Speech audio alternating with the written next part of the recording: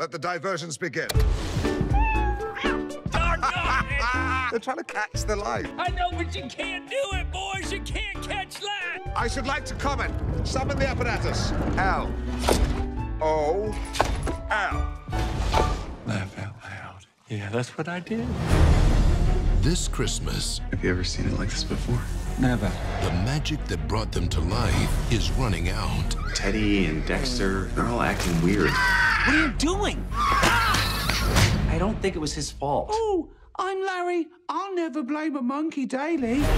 And he has one night These guys depend on me. to save them all. Everything might stop and it may never come back. We have to go to London to figure this out. You know you'd be lost without us, Gigantor. Hold me.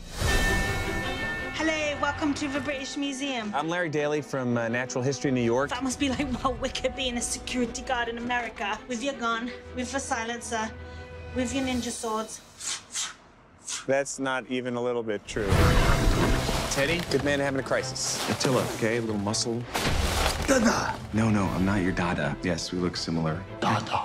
No touching. Stop it.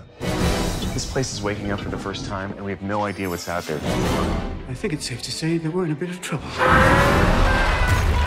Need some help. Sir Lancelot, at your service. Theodore Roosevelt, President of the United States. I have no idea what that means. We shall all be dead by sunrise, never to breathe life again. Huns don't hyperventilate. This is the last round up! I'm both disgusted and grateful. Come on! That wasn't necessary! You always put the monkey in charge? Oh, he's not in charge. We're just following him. That's what being in charge means.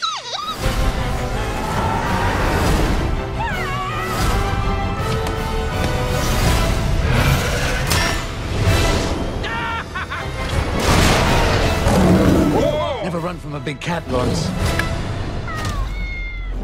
You can't ambush me with that kind of cute!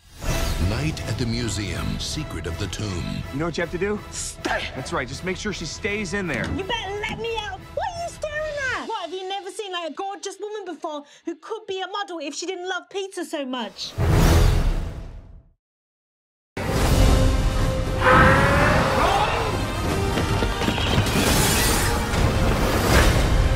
Okay.